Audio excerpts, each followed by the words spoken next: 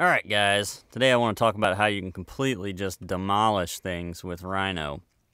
Uh, Brandon had made a video uh, a couple days ago uh, demonstrating these things and uh, I felt like uh, kind of obligated to, um, to beat him at his own game.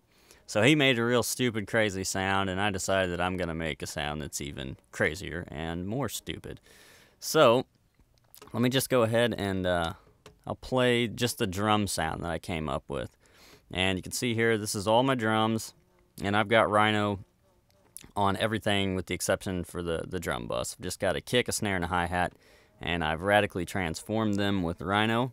I'm using a couple inserts too, but uh, Rhino is doing the, the bulk of the work here. And I've also got a synth thing that I'm going to bring in a little bit later. But this is just the drums, so let's take a listen.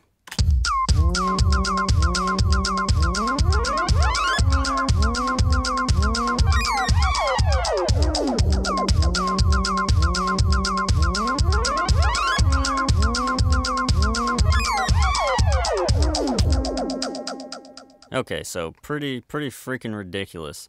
Um, I want to start out with I'll start out with the snare.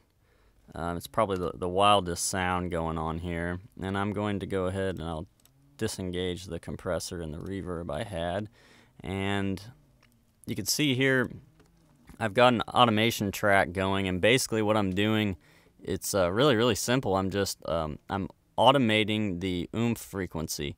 So if I play this uh, keep your eye on this guy right here, you'll see this is just going up and down real crazy and it's creating those uh, those really weird sounds. So let's listen to just a snare.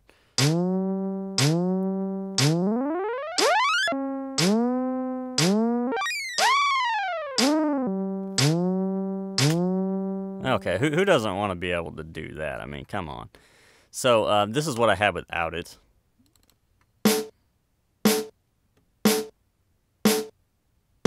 Oh god, that's just so boring and stupid. All right, now after Rhino, what I did is I uh, I brought in a compressor, and I'm basically just trying to remove as much attack as I possibly can. So this is with the compressor and Rhino.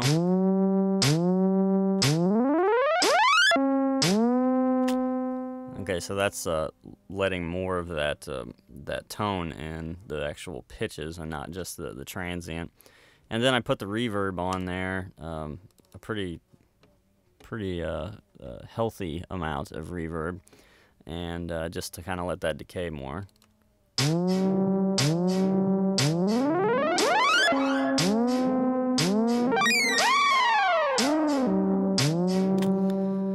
And I've also got the, the pre-delay turned up quite a bit because I wanted to kind of have that um, that that second thing come in, you know, the, the tone and the snare hits, and then the pre-delay comes in just a little bit afterwards, and I tried to put that in time.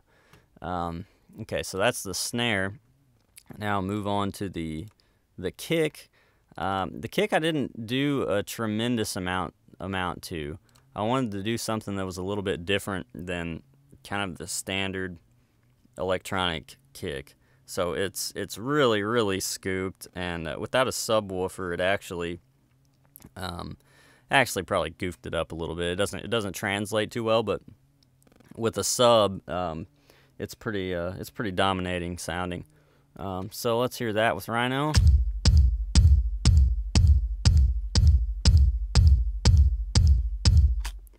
Okay, so this is just kind of uh, like a, a, standard thing I do with Rhino. I've got the frequency at 46 hertz. Um, I actually didn't play around too much with the sustain and the decay. Well, maybe I did actually. I've got the sustain down all the way. Um, but uh, this is a little trick that I picked up from Brandon's video that's really cool is that I started the dive frequency at about 129 so you get um, kind of that chest attack and then it goes down to 46 hertz as opposed to keeping the dive off and uh, just having that. Now with the dive. So that is a really, really handy trick right there. Now the hi-hat, move on to that. Um, let's see, I'll take the delay off and rhino off. This is what I have at the hi-hat. Okay, just a boring, stupid hi-hat. And then with Rhino... Okay, so with Rhino, I've actually got the, the oomph frequency up quite a bit. Um, it's about 1K.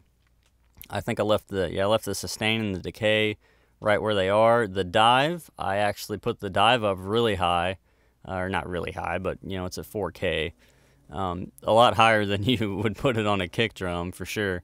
Um, and then I messed around with the, the speed just a little bit, and I've also got some some harmonics in there. And let me make sure I don't think. Um, okay, yeah, I did. I automated this uh, the oomph frequency too. You can get some really crazy stuff whenever it's whenever it's transitioning between pitches. You can get some really really wild sounds. All right, so let's listen to it uh, right when it starts to change pitch.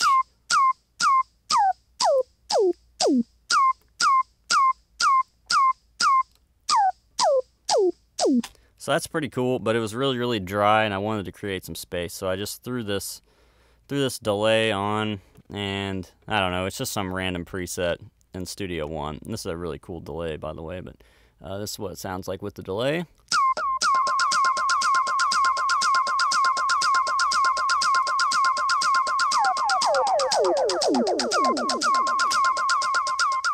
All right, so I don't know. That's really cool to me. That sounds like a flock of birds like flying around my head or something. Really, really weird. Um, it definitely does not sound like a hi hat anymore, and I'm I'm really into that. Okay, now the moment you guys have all been waiting for. I'm gonna go ahead and bring in my synth that uh, that sounds like a fart. It's really awesome.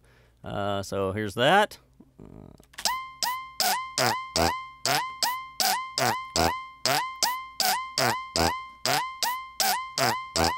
Okay, now um, in this particular instance, I'm using Rhino, but uh, I'm actually using Rhino just to, to make the fart sound a little bit more juicy.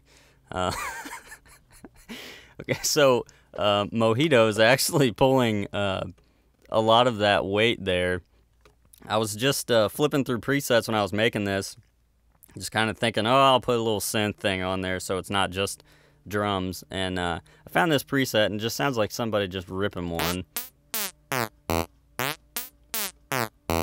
Okay, so up until that point, I was like halfway serious about this piece of noise, and then uh, I found that, and I just I just knew it's like a light bulb went off, and I, I had to put it in there. But on its own, okay, so you know that sounds okay for a fart, but uh, when you put Rhino on top of it, you get that pitch in there, and I put the click on and the uh, the click I've got it set over here to this upper left hand corner which is kind of the uh, I don't know I wouldn't really call it like brittle but it's kind of a, a papery sort of thing.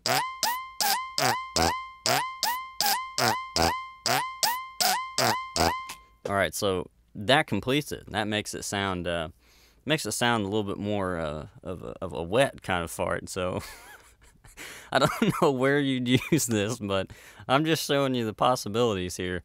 Okay, so everything together sounds like this.